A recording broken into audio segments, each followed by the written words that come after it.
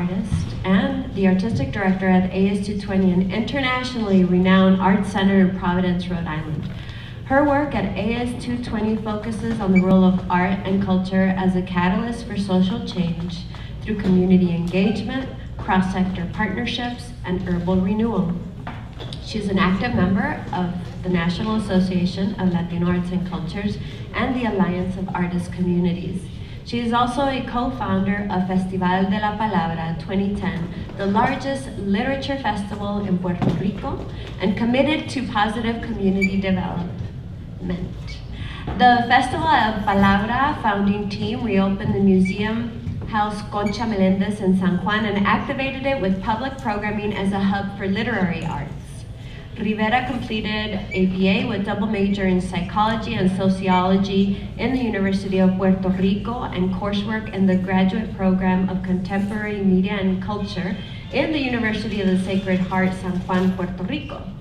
She has been a guest speaker at Tulane University, University of Puerto Rico, the RISD Art Museum, New Bedford Museum of Art, Philadelphia Mural Art, NALAC's regional convenings in Detroit and Providence, and the Alliance of Artist Communities annual conferences.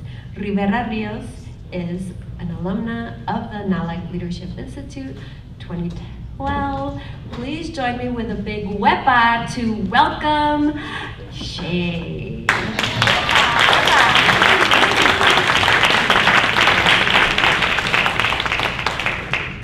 While Adriana was reading my bio, I was like, this is so long, but I want to just jump up and down.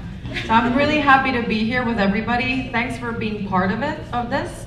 Um, it was really transformational when I first became an Nalaquera in 2012. There are a few of my cohort and peers over here. Fabiola, I already saw you. Yeah, Yahaira. Um, so it's really awesome to be back in San Antonio. Um, this is a piece by Melanie Cervantes from Dignidad Rebelde, um, wife of also another of our peer from NALAC. And I thought that it was very timely with the conversation that we're having about oppression and exclusion of voices. So I want to shake things up a little bit about that. And I want to also, if you guys have questions at any point during my talk, feel free to jump in. Um, I think that in the past, in the previous panel, something that came up that really stuck to me was the concept of anger. I think that that's really timely right now. We're in a really, um, uh, we're in an age where there's a lot of fire, there's a lot of, of, confrontation around identity. We're looking at what we're putting into the table and looking at who's accepting it and who's not. So I think that it's, this conversation is very timely, especially with what Guadalupe Center for the Arts has been facing in San Antonio.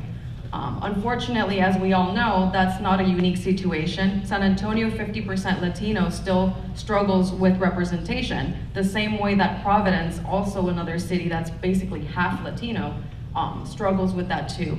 So um, one of the ideas, uh, I'm gonna share with you a few of the ideas and a few initiatives that I've been doing in my own community to hopefully add to the mix of the larger struggle and push this forward.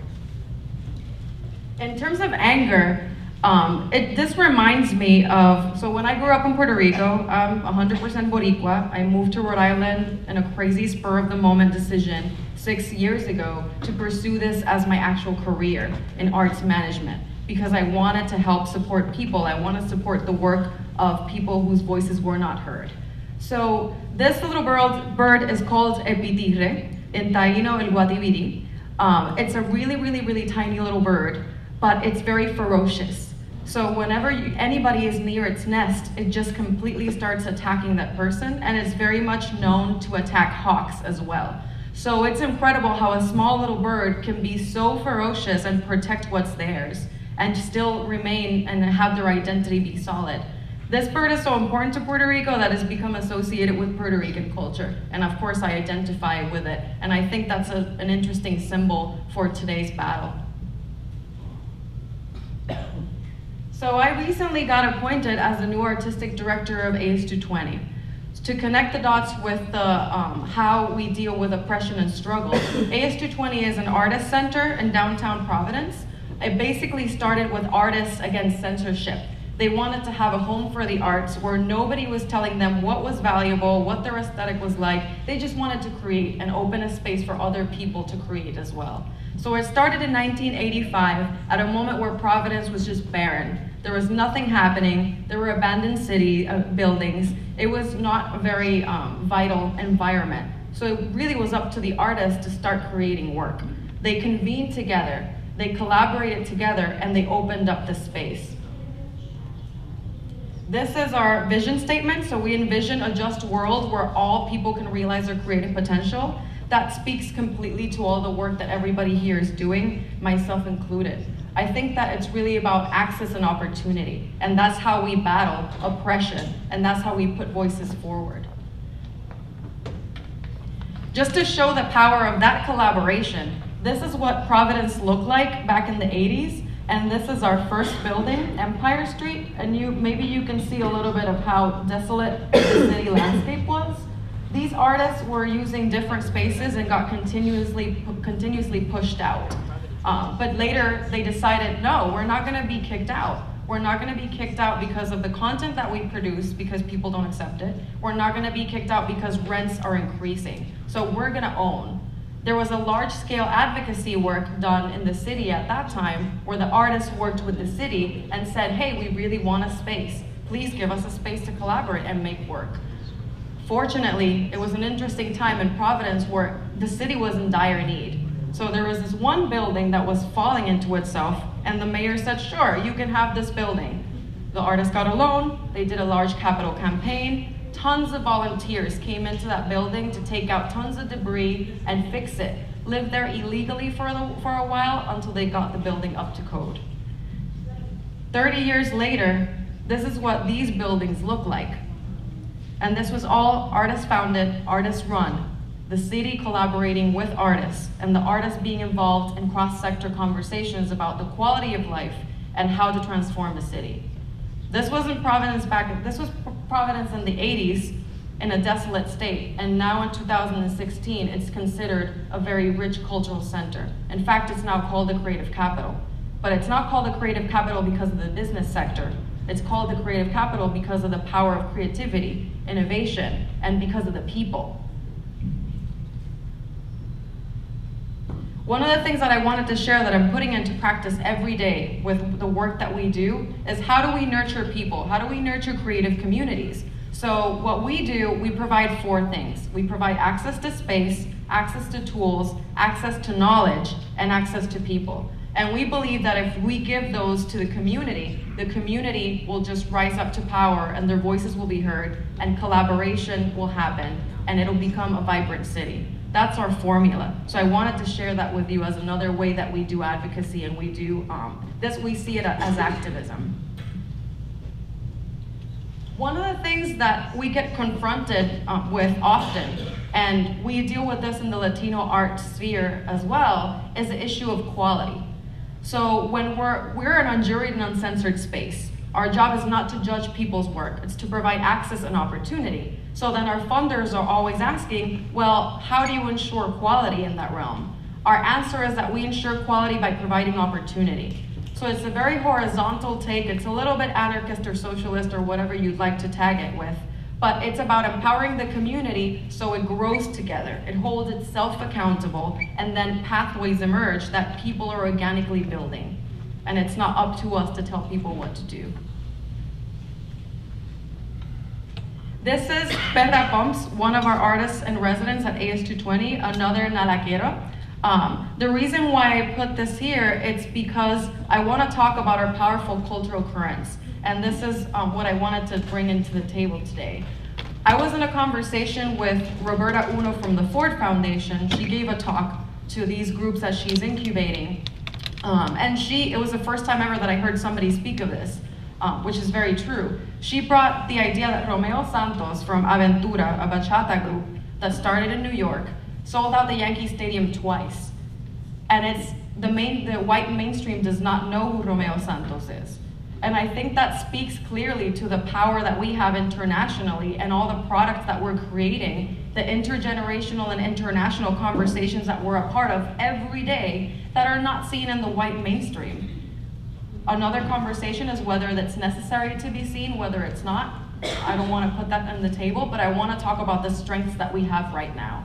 Our voices are really important and they're reaching very different corners. And the people that are in this room are very important. We're all doing really incredible work that are inspiring other people to create more. So we are part of a movement together. And that's very exciting to me in this day and age. One of the people that I have to say changed my life in Puerto Rico when I was started to do cultural work for real was Mayra Santos Febres. She is one of the most important writers um, for the Puerto Rican community. She launched the Festival de la Palabra in 2010. It was a crazy vision, the same crazy vision that Artists in Providence had. She wanted a five-day festival with five pavilions in a fortress in, San Juan, the three fortress floors full of literature programming, plus two weeks of programming in the mall. So she really wanted to shake things up. She wanted to turn Puerto Rico into an international hub where all these writers would come in and that writers in Puerto Rico could be connected to this international circle. We brought around 120 writers from all around the world that are also journalists. But the cool thing about that is that all those writers were advocates for their communities, advocates for their countries, and this was sparking international dialogue happening in our, in our city. It's also like what's happening right now, Puerto Rico is a different issue that I don't want to get into, but we should at some point. Um, but she was a really inspirational person. That was an incredible task that was done by writers, people who wanted to see that Puerto Rico, Puerto Rico's identity was tied to arts and culture and we had an international voice. That changed my perspective. That's when I decided this is what I want to do for my career. And I have to leave Puerto Rico to see what's out there and try to understand other communities. So part of the work that I've been doing in Providence as well I have up here, his name is Ray Watson. He's from the Native community in Providence, um, very invisible community over there. And we started to talk. What, what is going on? Like, why aren't our voices represented, even though we have the numbers? Why is it that it's so difficult to um, convince our communities to step up and empower them? So what are these barriers? And we started to think, well, maybe we should convene all the people who have been doing this work for 30 years or more in our own city that have not been recognized and really ask them, do you consider yourself a cultural practitioner? Do you consider yourself an artist? What are the barriers? What's really happening in our community and how can we connect those dots? Because we can't work in silos, even ethnically. Like it's really important to collaborate all like the Hispanic community with the Native community, the Black community, the Asian community, all of us as a very diverse group of people to step up and change the game in terms of aesthetic and support for the arts. So that was what the conversation, um, that was a spark of the conversation, and he launched a new initiative called, called the Providence Cultural Equity.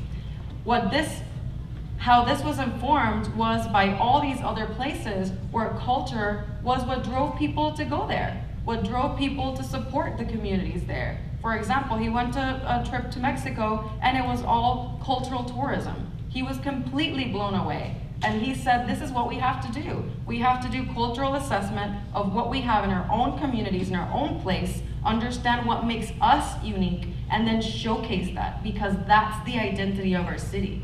It's not the business sector, it's not the design sector, it's not the technology center, it's not whatever tagline everybody else wants to put on top of us. It's our voice. So it's really up to us to push it forward and just carry this boulder and make a mess and a ruckus to under so people can understand the existence of this cultural richness and rubric. So this is basically the premise of what I wanted to speak to you today. It's really about how all of us in working in different sectors but still having art as a signifier, as the one center hub, it's so important that we collaborate. NALAC has launched the, inter the Intercultural Leadership Institute. That was also a very transformational experience because it tells, they base, we spoke about how to take this back to our communities. How is it that we can create tools so we can hold those funders accountable? So we can actually create best practices for when somebody wants to do a cultural festival, for example, they're not just plugging us in as tokens, that we're actually involved in decision making. That when the city convenes groups to design new schools or new policies, that we're at the table. So it's so important that uh, ourselves as arts managers and artists, we don't just settle. We have to be there. We have to also empower our own community to be at the table. And also tell the people who are convening these groups that the way that they have to do it. Because oftentimes I've been caught in conversations where people convene them, but then their opinion is not really valued, and then there's no follow-up, and then nobody tells them what your voice contributed to the larger conversation. It's like, no, we have to work together as a team.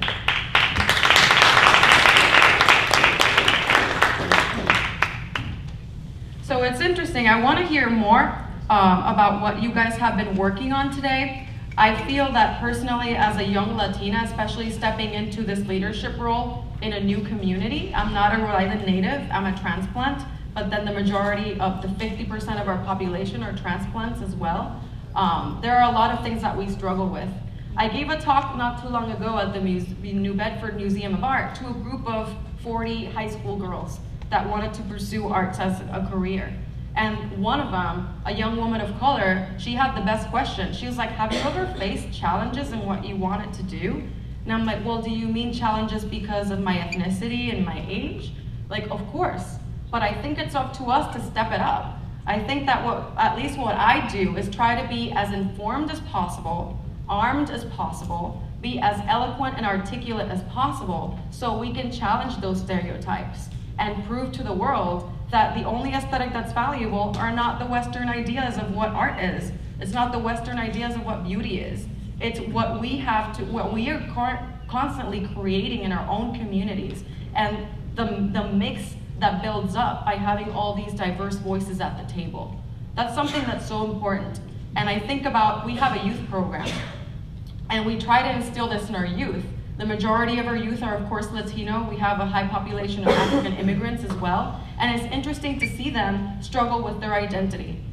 They live in the US, their parents are Colombian, Ecuadorian, Puerto Rican, but they also have a new identity as young teenagers. And it's so awesome to see when they want to research back. They're like, what's my native um, root, what are my native roots? What is happening in, happening in Ecuador? How can I help there? How does that inform me? How is it okay for me to be a metalhead rocker from Colombia and not fall into the stereotypes of what other people tell me? It's really, I think it's really important in the discussion that NALAC has one of the things that NALAC I, I feel like brings to the table too is the inter, uh, intergenerational aspect. I hate when people fall into old and new, or like when we um, treat elders as no longer relevant, or we, when we treat youth uh, in a really patronizing way, it needs to be a level playing field because we're all working for the same goal. And it's really important to continue the old knowledge with the new knowledge and push it forward in a way that it comes together. Um, one last thing I want to leave you guys with is this idea of aesthetic because it keeps coming up. And it, it, it's easy to get very upset, uh, it's easy to let it upset you um, because other people are telling you what your art is supposed to be. It really is about taking risk and encouraging people. I think living in the US where it's a capitalist world, it tells you that you have to be a prodigy, that you already have to, uh, do, you have to have a final product, that you have to sell.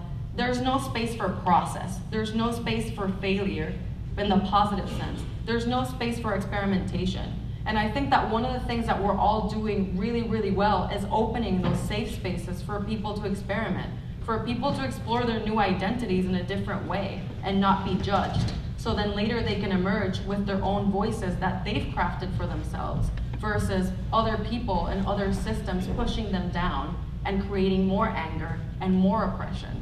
So I think this is an era where there's a lot of opportunity for empowerment and I urge all of us to continue to take a positive outlook on challenges because if there's a challenge, that means that there's an opportunity. We can push things for, uh, forward in a very different, amazing way. That's what I'm trying to do in my community. That's what I'm seeing all of you guys are doing. So I do see that the environment is very positive. We have to continue to keep people accountable. The same way that a Latino, uh, the Contemporary Art Month wanted to have an exhibit here in the Guadalupe Center for the Arts and didn't have any Latino artists, that's unacceptable. So we need to make sure their voices are at the table and we need to not be scared to stand up for ourselves. So I'm really proud of all of us. I think this is an era of positivism and opportunity. So I'd, I'd like to just have an applause for all of us that are doing this.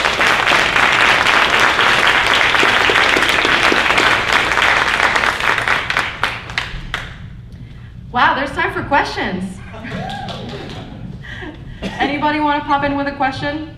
Or have maybe a different way that you're approaching your communities or empower other people? Shy, shy. Okay, well, maybe we can talk later one on one. Thank you so much.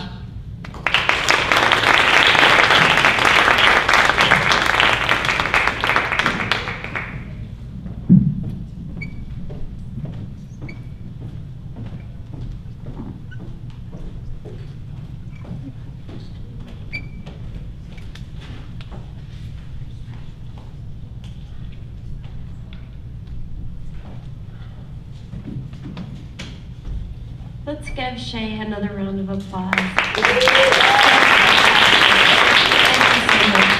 One of the things that um, I've learned about Shey is that not only is she wicked smart, but she's really generous with her time too. And so a one-on-one conversation is going to be a good opportunity um, to continue the conversation, build new collaborations. Um, thank you so much for taking the time to come out here and um, share your thoughts with all of us. Thank you so much.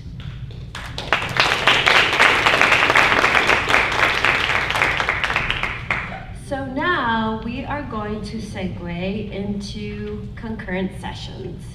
So this is where it's going to be a little bit of a challenge to decide where are you going to go next. As Joey put it yesterday during his presentation, is what's next, right? So um, we have two phenomenal sessions, um, and they actually very keenly match up to some of the questions that were brought up earlier. Um, very specifically, talking about public art, demystifying the process, informing the process, um, intercepting and disrupting the process, making a leap from studio art to large fabrication construction opportunities. You'll get all of that and more um, with a conversation with um, Rebecca Bloom Rothman from the Phoenix Office of Arts and Culture, which is one of the premier organizations um, in the country that have uh, won many awards for their uh, approaches and inclusivity to public art and the quality of public art that it is shown um, through that program. So that's one really interesting uh, and um, informative session that I think will be really uh, provocative and instructional and I encourage all different disciplines to go because when we think of public art, we primarily think of two-dimensional or three-dimensional work, but there's actually a lot of new different intersections that can take place in time-based art. Um, so that session is going to be taking place in the Guadalupe Galleria, which is right across the street. If you pass the parking lot, you leave uh, the centro here, um, go left, walk across the street. We'll have very friendly greeters. Michael in the background will lead the parade to the public art workshop. In this room, we have three incredible speakers who will be having a conversation about building relationships through funding. So how do you bridge and build strong relationships between funders of foundations in the corporate world and the public uh, realm where officials are beholden to the community that they're entrusted with? Um, and how do you build reciprocity within those relationships? So it's not just a one-way transactional relationship, but it is about both parties influencing each other and moving forward towards the evolving goals of each community, right? Um, uh, foundations and corporations and and um, the public sphere also has a lot to benefit from creating those opportunities for individuals and organizations in arts and culture. So it's important to think about how those things come together. And so if you have some interesting questions, curiosities, or ways you want to explore that theme, I invite you to stay here in the theater where Yvonne Gallardo will lead the charge towards a very vibrant, dynamic conversation with Gary Gibbs of the Texas Commission on the Arts and Carmela Castellano, the Castellano Family Foundation. Um, so you've got about two seconds to get to your uh, to your sessions. We'll give you all about five minutes, and see you soon.